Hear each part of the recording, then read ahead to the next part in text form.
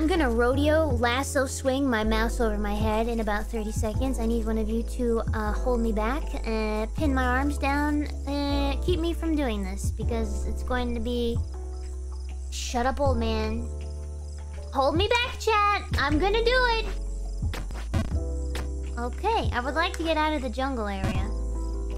Apparently, I will not be granted this wish.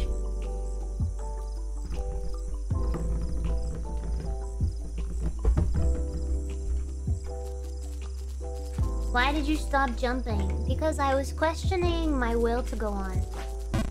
I think it's important to have fun when you do stuff, but also you need to be realistic and, and realize that, you know, it's not going to be a fun time or an awesome time every time, and and that's okay.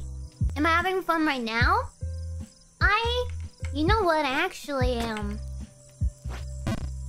I'm having fun. I'm having fun! Are you having fun?